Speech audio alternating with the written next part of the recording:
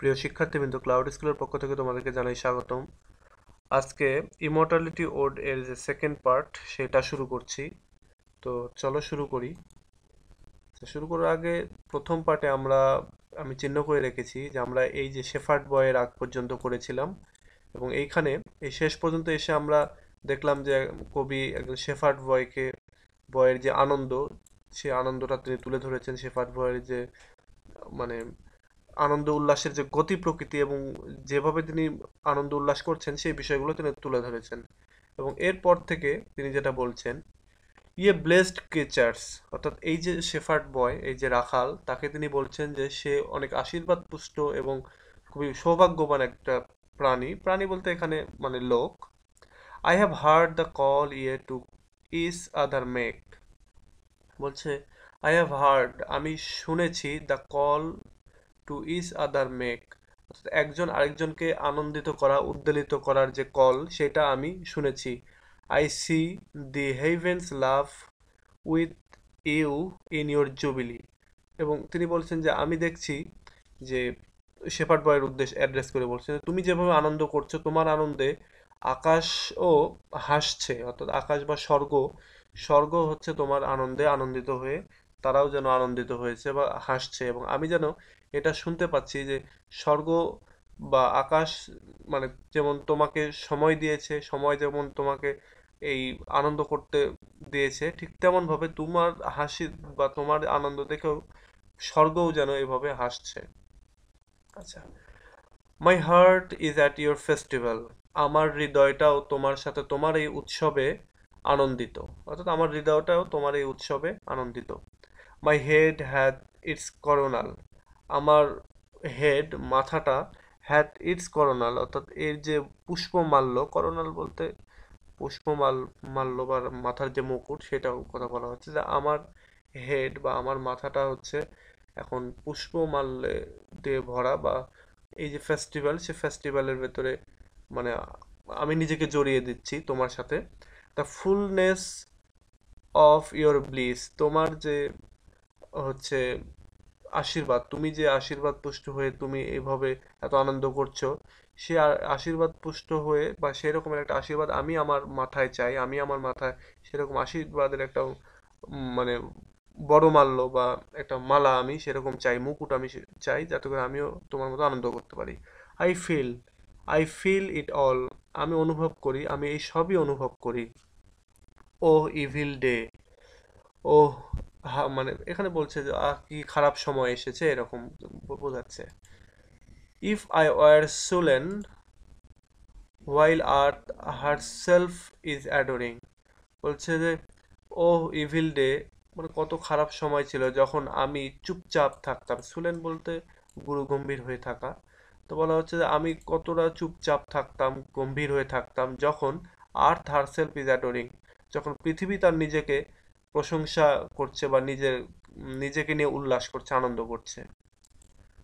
The sweet May morning and the children are calling on every side in a thousand valleys far and wide fresh flowers আচ্ছা এখানে যেটা বলছেন যে মানে মে মাস তো অ্যাকচুয়ালি ইংল্যান্ডে হচ্ছে বসন্তকাল। তো বলা হচ্ছে বসন্তকালের বা মে মাসের এই মর্নিংয়ে চিলড্রেনরা বাচ্চারা আর কালিং বাচ্চারা অ্যাকচুয়ালি আনন্দ উল্লাস করছে বা বাচ্চাদেরকে মানে একটা সাইডে রাখা হয়েছে যারা ওখানে আনন্দ উল্লাস করছে। In a thousand valley far and wide বলছে যে দূরে এবং কাছে যে হাজার হাজার যে ভ্যালিগুলো উপত্যকাগুলো সেইগুলোতে ফ্রেশ ফ্লাওয়ার্স সেগুলোতে অনেক সজীব যে ফুলগুলো, সেগুলো রয়েছে।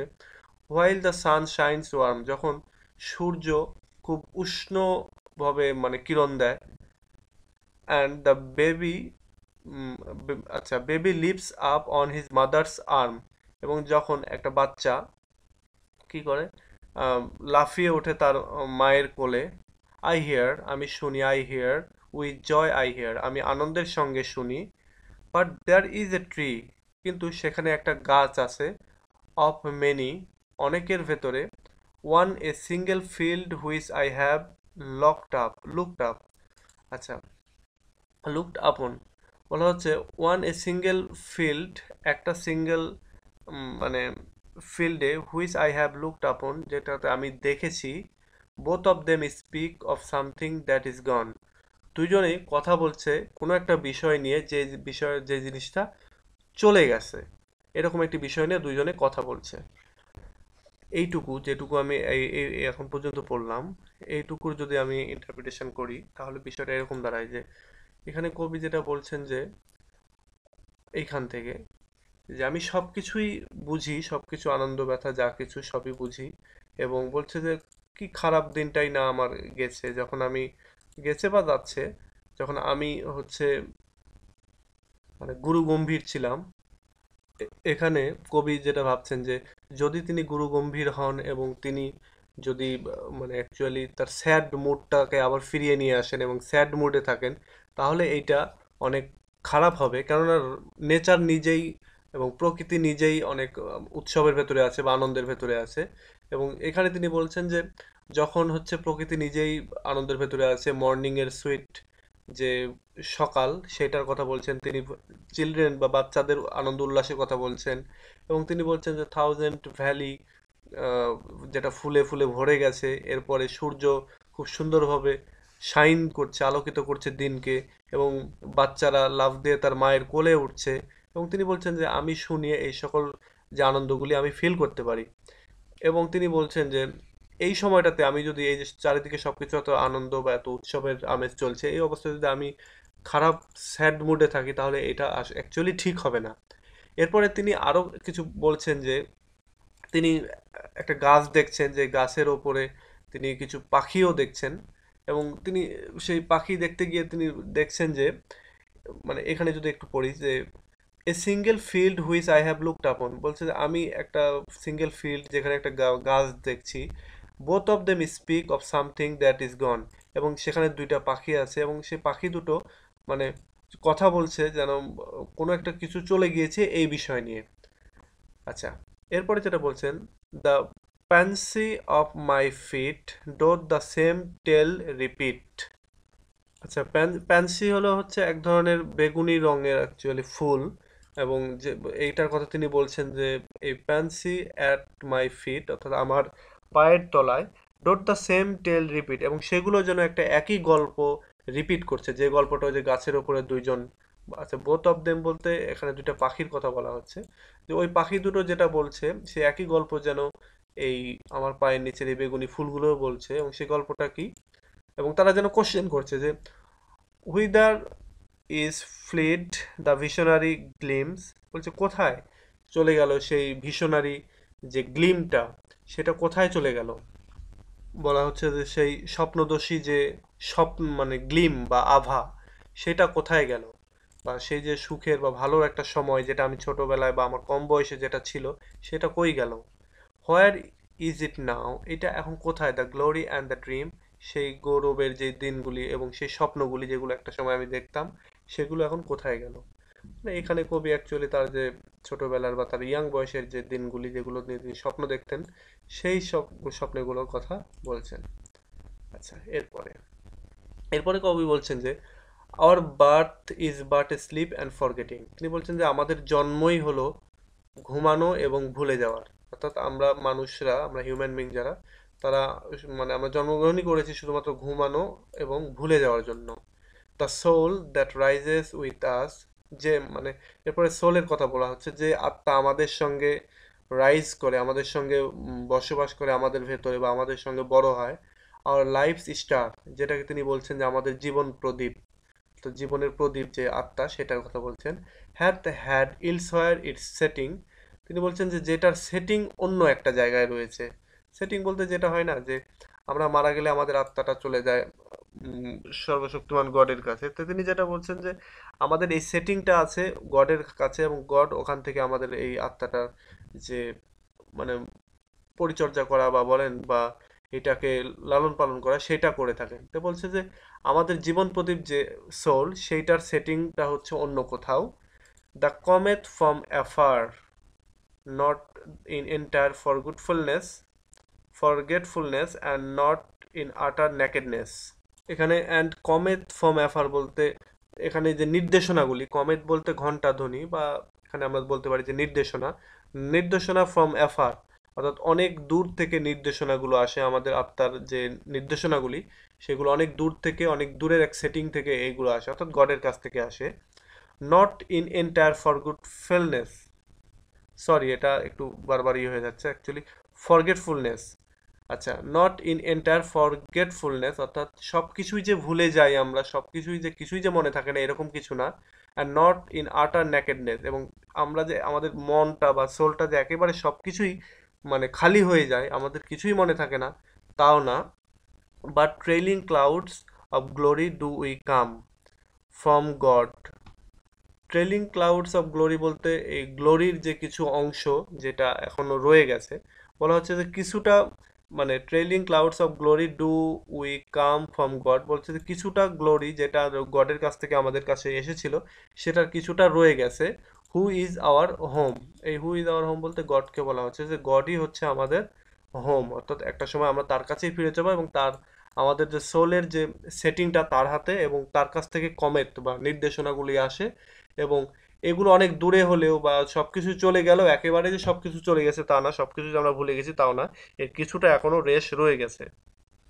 আচ্ছা heaven lies about us in our infancy এবার তিনি বলছেন যে হেভেন বা স্বর্গ যেটা, সেটা রয়ে যায় আমাদের অ্যাবাউট আস আমাদের সঙ্গে ইন আওয়ার ইনফ্যান্সি আমাদের যে ছোটবেলা, যে আমাদের শিশু যে বয়সকাল শৈশবে, সেই শৈশবের ভেতরে আমাদের যে স্বর্গ বা স্বর্গীয় যে ধ্যান ধারণা বা যা কিছু নিষ্পাপের বিষয়গুলি, সেগুলো রয়ে যায়। Shades of the prison house begin to close upon the growing boy বলছেন যে, এরপরে শেড পড়ে যায়, অর্থাৎ প্রিজন হাউস বলতে এখানে অপরাধ এর কথা বলা হচ্ছে। যে অপরাধ মানে গ্রোয়িং বয় এখানে যেটা বলছে যে, বড় হওয়ার সঙ্গে সঙ্গে আমাদের ভেতরে কিছু অপরাধ বোধ চলে আসে, অপরাধের কাজ, কার্যকলাপ আমরা কিছু করে করে ফেলি এবং এর ফলে একটা শেড পড়ে যায় আমাদের ওই ইনফ্যান্সির যে হেভেন যে নিষ্পাপ যে অবস্থা, সেই অবস্থার উপরে একটা শেড পড়ে যায়, ছায়া পড়ে যায়। But he beholds the light কিন্তু তারপরেও সে লাইটটা দেখতে পায়, আলোটা দেখতে পায় অ্যান্ড হোয়েন্স ইট ফ্লোস এবং যখন এটা মানে ফ্লো করে, এই লাইটটা প্রবাহিত করে বা বয়ে চলে he sees it in his joy সে তার, সে এটা নিজে নিজেই দেখতে পায় তার আনন্দের সঙ্গে। এখানে তিনি বলছেন যে, মানুষ যখন ছোট থেকে বড় হয়, বড় হওয়ার সঙ্গে সঙ্গে তার যে অতীতের যে মানে গ্লোরিগুলো যে নিষ্পাপের যে আনন্দগুলি, সেগুলো সব ধীরে ধীরে নষ্ট হয়ে যেতে থাকে। The youth who daily father from the east the daily farther from the east must travel still the nature's priest বলা হচ্ছে ইউথ যৌবনে যখন মানুষ থাকে who daily farther from the east যে প্রতিদিনই পূর্ব দিক থেকে মাস্ট ট্রাভেল অর্থাৎ সামনের দিকে যাবে। এখানে পূর্ব দিক থেকে মাস্ট ট্রাভেল বলতে যে একটা সূর্য যেমন পূর্ব দিকে ওঠার পরে ধীরে ধীরে ধীরে সে পশ্চিম দিকে যায়। তো মানুষের ইউথটাকেও তিনি বলছেন যে, মানুষ ছোটবেলায় উঠে যখন, তখন সে পূর্ব দিকে থাকে। মানে এটা একটা জাস্ট একটা কম্প্যারিজন করছেন যে পূর্ব দিকে থাকে। সূর্য যেমন বড় হয়, একটা মানুষও তেমন বড় হয় এবং সূর্য যেমন যখন মধ্য আকাশে আসে, তখন যেমন দুপুর হয়, ঠিক সেরকমই মানুষের মধ্য সময়টা হচ্ছে ইউথ, অর্থাৎ যৌবন। যৌবনের যে সময়টা, সেটা হচ্ছে মানুষের মানে একেবারে লাইফের যে ফুলেস্ট বা দুপুরবেলা যেটা, সেটা। বলা হচ্ছে যে the youth who daily farther from the east must travel বলা হচ্ছে যৌবন যেটা অবশ্যই মানে সবসময় পূর্ব দিক থেকে ট্রাভেল করতেছে পশ্চিম দিকের দিকে স্টিল ইন নেচার পৃষ্ঠ বলছে তখনও নেচারের পৃষ্ঠ সে থাকে, অর্থাৎ তখনও তার ভেতরে কিছুটা মানে প্রকৃতির প্রতি ভালোবাসা বা ইনোসেন্স যে বিষয়গুলি, সেগুলো থাকে। And by the vision splendid is on his way attended বলা হচ্ছে যে, এবং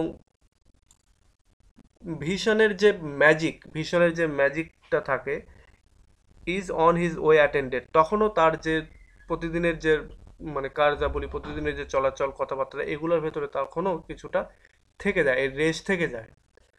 At length the man perceives it die away এক পর্যায়ে ম্যান অর্থাৎ মানুষ যখন পরিপূর্ণ বড় হয়ে যায়, তখন সে বুঝতে পারে যে পারসিভ করতে পারে যে ইট ডাই আওয়ে এটা মারা গেছে, এটা চলে গিয়েছে and fade into the light of the common day এবং দিনের সাধারণ আলোর ভেতরে এই লাইটটা ফেড হয়ে গেছে, বিবর্ণ হয়ে গেছে। অর্থাৎ এখানে তিনি যেটা বলছেন যে, মানুষ যখন ছোটবেলা থেকে বড় হয়, তখন ধীরে ধীরে ধীরে তার যে হচ্ছে সিলেশিয়াল যে লাইট বা তার যে গ্লোরিগুলো সেগুলো ধীরে ধীরে কমতে থাকে। তার নিষ্পাপের যে সহজ সরল যে ভাবগুলো, সেগুলো কমতে থাকে এবং যখন সে আরও বড় হয়, এরপরে সে বুঝতে পারে, অর্থাৎ যখন সে পূর্ণ ম্যান হয়ে গেল বা ম্যান থেকে ওল্ড ম্যানের দিকে চলে যাচ্ছে, তখন সে বুঝতে পারে যে হ্যাঁ অ্যাকচুয়ালি তার যে ওই যে গ্লোরিগুলো সেগুলো ধীরে ধীরে শেষ হয়ে গেছে এবং দিনের সাধারণ আলোর ভেতরে তার ওই আলোগুলো যেন মিশে গেছে। এখানে দিনের সাধারণ আলো বলতে পৃথিবীর যে কমন যে প্লেজারগুলি সেই প্লেজারগুলির ভেতরে তার সেই নিষ্পাপ প্লেজারগুলি যেন হারিয়ে যায় এবং সে মানে খারাপ ওয়ার্ল্ডের সঙ্গে মিশে যায়। আচ্ছা। এরপরে কবি যেটা বলছেন যে earth fills her lap with pleasures of her own বলছে, পৃথিবী ভরিয়ে দেয় তার কোলকে with pleasure of her own তার নিজস্ব যে আনন্দ উল্লাস, সেইগুলো দিয়ে। অর্থাৎ পৃথিবীর যে আনন্দ উল্লাস, সেইগুলো দিয়ে মানুষ মানে মত্ত হয়ে যায় বা মানুষ মানুষের যে চাহিদা, সেই চাহিদার ভেতরে সে চলে যায়। Yearnings she hath in her own natural kind এবং পৃথিবী সে তার যে ও নিজস্ব যে ন্যাচারাল কাইন্ড ধরন, সেটাতে সে লিপ্ত থাকে। ইয়ার্নিং বলতে লিপসা বা মত্ত থাকা। অর্থাৎ যে আনন্দ, পৃথিবী যে আনন্দ, সেই আনন্দের ভেতরে পৃথিবী বা পৃথিবীর মানুষ মানুষ যখন বড় হয়, তখন সে লিপ্ত হয়ে যায়। And even with something of the mother's mind আচ্ছা কবি এখানে যেটা বলছেন যে পৃথিবী তার নিজস্ব ধরন বা নিজস্ব যে মানে অ্যাকচুয়ালি যে মজা বা যে আনন্দ যে, যেগুলো করে থাকে, সেগুলো তার নিজস্ব ওয়েতেই করছে। And even with something of a mother's mind and no unworthy aim বলছে এবং কিছু মানে পৃথিবীতে যে কিছু মা আছে, সেই মায়ের কথা বলা হচ্ছে যে তার মায়েদের মনের ভেতরে বা তার মায়েদের যে ভবিষ্যৎ পরিকল্পনা, সেগুলো সব আনওয়ার্দি অর্থাৎ তাদের কোনো জীবনে কোনো লক্ষ্য নাই। তারা সেটা শুধু যেটা করে সেটা হচ্ছে যে homely nurse doth all she can অর্থাৎ সে একজন হোমলি সেব সেবিকা হিসেবে কাজ করে। অর্থাৎ পরিবারের মধ্যে সে কাজ করে, গৃহিণী হিসেবে কাজ করে। এবং সব কিছু সে করে যা সে পারে to make her foster child অর্থাৎ তার যে চাইল্ড বা শিশু বা সন্তান, তাদেরকে তারা সে ফস্টার করে। অর্থাৎ ফস্টার বলতে লালন পালন করে। Her inmate man, her inmate man বলতে তার যে হাজব্যান্ড তার হাজব্যান্ডের সেবা করে। Forget the glories he hath known এবং বলছে যে এগুলো করতে গিয়ে তার এই যে রেগুলার ডিউটি সেগুলো করতে গিয়ে সে কী করে? তার যে, ভেতরে যে গ্লোরি তার যে সম্ভাবনা যা কিছু ছিল বা ও ছোটোবেলার যে গ্লোরিগুলো এগুলো সবই সে হারিয়ে ফেলে, ভুলে যায়। And the imperial palace where when she came এবং যে বড় ফ্যামিলিতে বা যে প্যালেসে সে জন্মগ্রহণ করেছিল, যেখান থেকে সে এসেছে, সেই সব কিছুই সে ভুলে যায়। আচ্ছা। অর্থাৎ এখানে তিনি যেটা বোঝাচ্ছেন যে মানুষ মানে দিনে দিনে যখন বড় হয়ে যায়, বড় হয়ে যাওয়ার পরে পৃথিবীর যে মানে দায়িত্ব, কর্তব্য, আনন্দ বা অন্য যা কিছু আছে, সেগুলোর সঙ্গে নিজেকে মিলিয়ে ফেলে এবং মিলিয়ে ফেলার পরে সে গডের কাছ থেকে প্রাপ্ত বা গডের কাছ থেকে যে প্রতিজ্ঞা, যা কিছু গ্লোরি সেই সব কিছুই সে একটা সময় হারিয়ে ফেলে। আচ্ছা behold the child among the new born blesses a six year old আচ্ছা a six year darling of a pygmy size বলছে যে আমি একটা বাচ্চা দেখলাম নিউ বর্ন ব্লেসেস অর্থাৎ নতুন বর্ন যে জন্ম জন্মগ্রহণ করেছে বা আমাদের যে নতুন প্রজন্মে, সেই নতুন প্রজন্মের ভেতরে একটা বাচ্চা দেখলাম, যার বয়স হচ্ছে ছয় বছর এবং সে খুব ছোট সাইজের পিগমি সাইজ বলা হচ্ছে। See where mid work of his own hand he lies বলা হচ্ছে যে সে, তাকে দেখো, সে তার নিজের হাত দিয়ে কীভাবে আর কি কাজ করছে বা খেলাধুলা করছে। ফিটেড বাই সেলিং আচ্ছা sallies of her mother's kisses fretted বলতে এখানে মানে যেটা জ্বালাতন করা, জ্বালানো। অ্যান্ড বাই স্যালিস স্যালিস বলতে দ্রুত বেগে কোনো কাজ করা, এটার কথা বলা হচ্ছে। দ্রুত দ্রুত বেগে সে জ্বালাতন করছে অফিস মাদার্স কিজেস অর্থাৎ তার মা যখন তাকে কিস করছে, সে তখন অ্যাকচুয়ালি হাত দিয়ে বাধা দিচ্ছে বা জ্বালাতন করছে এরকম। With light upon him from his father's eyes এবং হচ্ছে যে তার উইথ লাইট আপন হিম তার ওপরে যে লাইটটা পড়েছে ফ্রম হিজ ফাদার সাইজ তার যে বাবার চোখ থেকে, তো এইটার কথা বলছে যে তার বাবার যে যত্ন আত্মীর কথা সেটা বলছে। সি অ্যাট হিজ ফিট তার পায়ের দিকে তাকাও। Some little plan or chart কিছু ছোট আকারের যে পরিকল্পনা এবং কিছু তালিকা তোমরা মানে তুমি পাবে। Some fragments from his dream of human life এবং কিছু ভাঙা টুকরো পাবে ফ্রম হিজ ড্রিম তার স্বপ্ন হতে অফ হিউম্যান লাইফ জীবনের যে লাইফ হতে এসেছে সেটা। আচ্ছা। Shaped by himself with newly learned art বলা হচ্ছে যে এই যে শেপড অর্থাৎ তার যে কিছু স্বপ্ন যেগুলো ব্রোকেন হয়ে গেছে, সেই স্বপ্নগুলো শেপ পেয়েছে, নতুন একটা শেপ পেয়েছে বাই হিমসেলফ তার নিজের দ্বারাই উইথ নিউলি লার্নড আর্ট নতুন যে কৌশল সে নিজে নিজে রপ্ত করে নিয়েছে। এ ওয়েডিং অর ফেস্টিভ্যাল একটা বিয়ে অথবা উৎসব a mourning mourning or a funeral একটি দুঃখ বা একটি মানে একটি দুঃখের যে ফিউনারেল হয়, যেটা মানুষের শবযাত্রা, সেটার কথা বলা হচ্ছে। And this hath now his heart এবং এই সব কিছু এখন তার হৃদয়ে। And unto this he frames his song এবং তার যে গান, সেই গানটাকে ফ্রেমে বা তৈরি করা পর্যন্ত then will he fit his tongue তখন সে তার যে গলা, সেই গলায় সে ফিট করবে। টু ডায়ালগস দ্য বিজনেস তার যে কথা, সে কথাগুলো সে দেওয়ার জন্য বা তার কাজের জন্য লাভ অ্যান্ড স্ট্রাইভ, ভালোবাসা এবং চেষ্টার জন্য। চেষ্টা করার জন্য। But it will not be long, কিন্তু এটা খুবই দীর্ঘায়িত হবে না। ইরি দিস বি থ্রোন অ্যাসাইড। এর পূর্বেই এই, এগুলোকে মানে সাইডে ফেলে দিবে। অর্থাৎ ওই যে সে যা প্ল্যান করেছে, সে যা সং তৈরি করেছে, সে হয়তো বা সেটা গাইবে, সেটা করার আগেই সে এটা কী করবে? এটা ফেলে দিবে। And with new joy and pride the little actor cons another parts অর্থাৎ মানে নতুন একটা, অর্থাৎ এই, এইগুলো যা সে করতে চেয়েছে, সেগুলোকে সে পাশে সরিয়ে ফেলে নতুন আনন্দ বা প্রাইড নিয়ে সে নতুন একটা বিষয় নিয়ে আবার অ্যাক্টর মানে অ্যাক্টিং করতে থাকবে। Falling from time to time his humorous stage তার যে হিউমারাস স্টেজ যে জ্ঞানী বা রসিকতাপূর্ণ যে স্টেজ সেখান থেকে সময়ে সময়ে সে ফিলিং অর্থাৎ ভর্তি করে নিয়ে, ভর্তি করে বলতে এখানে তার যে আনন্দ বা তার যে জয়, সেই বিষয়গুলি উইথ অল দ্য পার্সনস সমস্ত মানুষের সাথে ডাউন দ্য পালসিড এজ একেবারে পালসিড এজ বলতে যে লাইফের শেষ এজ যেটা সেটার কথা বলা হচ্ছে।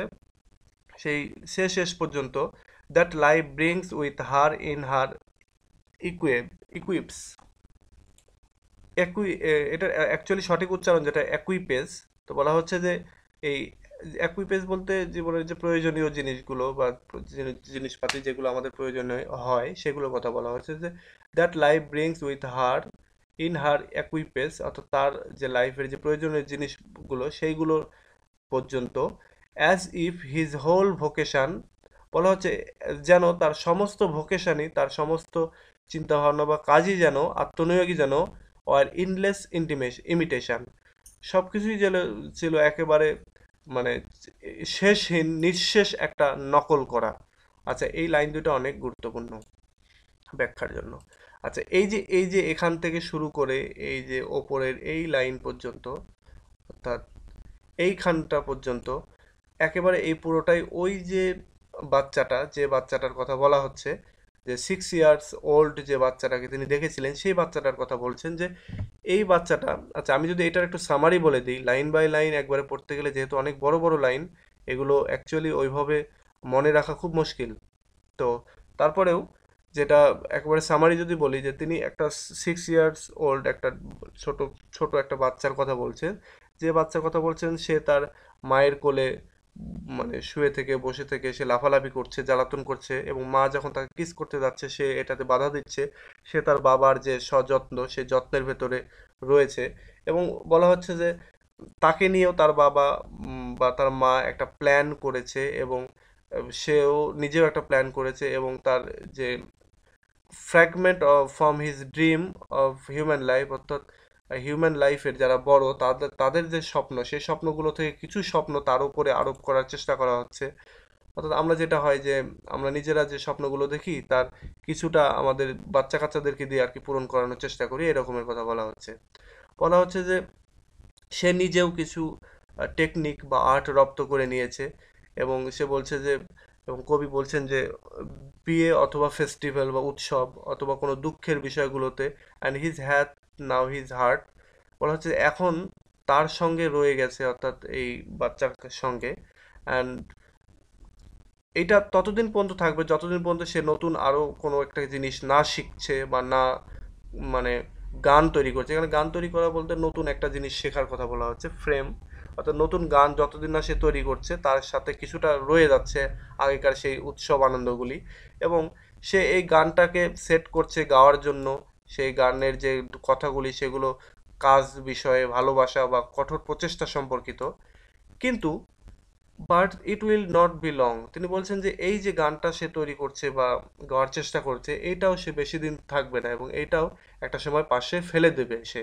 এবং ফেলে দিবে এবং নতুন ধরনের মানে আনন্দের খোঁজে, নতুন ধরনের আনন্দ সে খুঁজবে সেজন্য। And the little anchor actor cons another part এবং এই যে লিটিল এই যে ছোট যে অভিনেতার কথা বলা হচ্ছে, অর্থাৎ বাচ্চাদেরকে বলা হচ্ছে, যেহেতু তারা কপি করে, অন্যরা, বড়রা যেটা করে থাকে সেটাকেই তারা নকল করার চেষ্টা করে বা সেভাবেই করে থাকে। তো বলা হচ্ছে এই লিটিল অ্যাক্টর আরেকটা নতুন কোনো পার্ট নেওয়ার জন্য নতুন কোনো ভূমিকায় অবতীর্ণ হওয়ার জন্য আগের যে গানটা সে গা তৈরি করেছিল বা যেটা গাইতে চাচ্ছিল সে সেটাকে ফেলে দেবে। এবং বলা হচ্ছে যে এই রকমের একের পর এক হিউমারাস জিনিসগুলো নিজের ভেতরে ধারণ করবে। সে একেবারে তার ব্যক্তি জীবন থেকে একেবারে পালসিড এজ অর্থাৎ একেবারে বুড়ো বয়স পর্যন্ত এবং এই সময়টাতে life brings with her in her equips equipage অর্থাৎ এই সময়টাতে লাইফ তার যে প্রয়োজনীয় যে বিষয়গুলি, সেগুলো তাকে শিখতে সাহায্য করবে এবং সে শিখবে এবং তার পুরো লাইফটাই যেন এমন হবে যেন তার সমস্ত আত্মনিয়োগটাই যেন থাকবে হচ্ছে ইনলেস ইন্টিমেশন ইমিটেশন অর্থাৎ ইনলেস হচ্ছে একটা নকল। একটা বাচ্চারা যেটা করে থাকে, বাচ্চা তার শৈশব বয়সে যা কিছু করে থাকে সব কিছুই বড়দের থেকে, প্রকৃতি থেকে নকল করে থাকে। অর্থাৎ বড়দের কাছ থেকে, বড়রা যা কিছু করে থাকে তার সব কিছুই সে শিখে এবং প্রকৃতিতে যা দেখে সে সে অনুযায়ী শিখে এবং সে অনুযায়ী কথা বলে। ওকে, আজকে এ পর্যন্তই। সেকেন্ড পার্ট আজকে এখানে শেষ করছি এবং পরবর্তীতে এর যে থার্ড পার্ট সেটা নিয়ে আসব। এবং ততদিন পর্যন্ত ওয়েট করতে হবে। তো টিল দেন আল্লাহ হাফেজ।